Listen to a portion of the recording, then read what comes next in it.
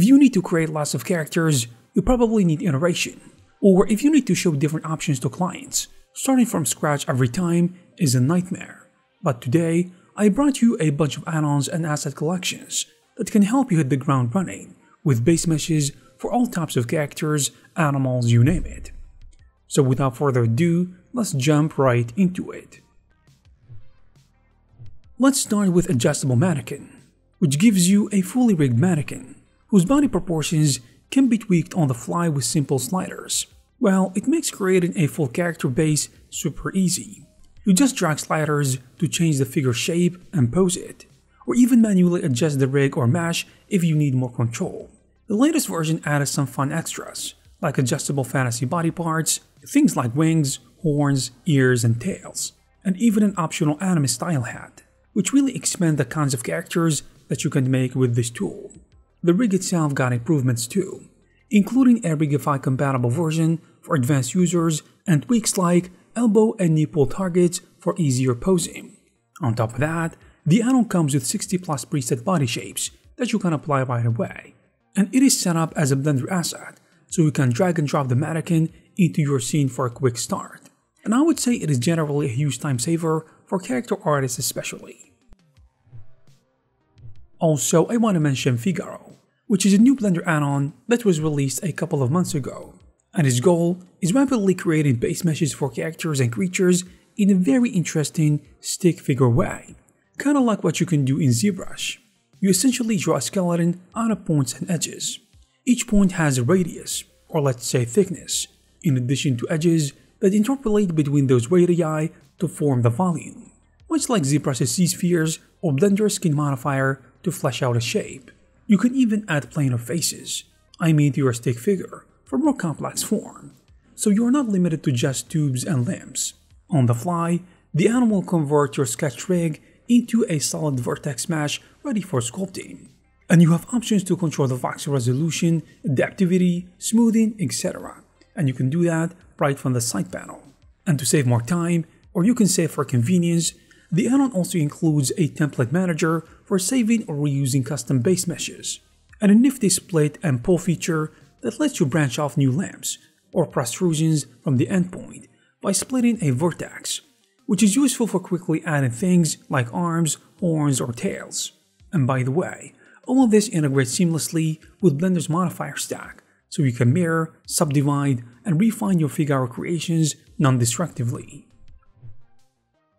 Even though the next add-on is not gonna function as a base mesh, Human Generator Ultimate is a really useful character creator add-on that allows you to generate realistic human models directly inside Blender.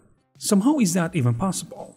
Well, it provides a character creation experience similar to a video game avatar editor. So you get a ton of more sliders and presets for body and face, making it easy to dial in features to your liking. The interface is simple. It lets you mix and match a variety of options, like different body types, facial shapes, ethnicities, and so on. And the add-on comes packed with high quality assets, such as hair, clothes, and skin materials, so you can outfit your character right away. And the good things, models created with Human Generator are fully rigged and ready for animation. It even uses a Rigify based rig, which makes posting and animating much easier, especially if you are a Blender user familiar with the system. I also appreciate the extra tools it includes for game developers. You can automatically generate level of detail versions of your characters, bake textures for optimization, and use a batch export for game engines, which is really useful if you want to bring your characters to Unreal or Unity. Another interesting tool for ready base meshes is called Base Meshes Character Starter Kit, which is essentially a collection of ready-made base meshes that come pre-rigged, giving you a head start in modeling when it comes to characters like the other ones before it.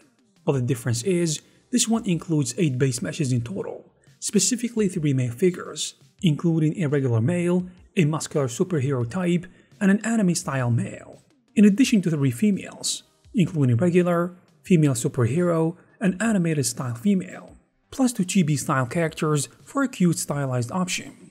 You also get a variety of interchangeable body parts, about 15 pieces in total, such as different hands and feet and even a separate Nandroid hat. You can even mix and match parts if needed. And all those models in this kit have been made with clean, animation-friendly topology.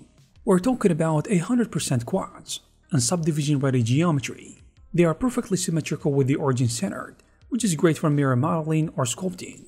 They also kept the polygon count really low, I mean relatively low, making these base meshes suitable for game assets, or as a starting point for sculpting. In a similar vein, as the name suggests, Ultimate Base Mesh Collection is a big library of base models. It packs 82 different base meshes covering humans, animals, and even mythical creatures. This collection gives you pretty much a good starting point for almost any organic model that you might need. And as you can see, it is really rich. For example, it includes realistic human bases, including male and female, from babies to old age, and even variations of different races. In addition to a whole bunch of models, I mean animal models, including wild and domestic, like lions, elephants, giraffes, dogs, cats, and so on. This, in addition to fantasy creatures like werewolf, mermaids, vampires, etc. And each model comes with optimized topology, in addition to being UV mapped. And they also come with multiple formats, including Blend, FBX, OBJ, and so on, even Maya files by the way. And there you have it guys. If you like these add-ons and these asset collections, you will find all the necessary links in the description. I hope you guys found this video useful and informative. If you did, please give it a thumbs up. Also please subscribe to the channel to receive more videos like this. Thank you very much for watching and I will see you in the next one.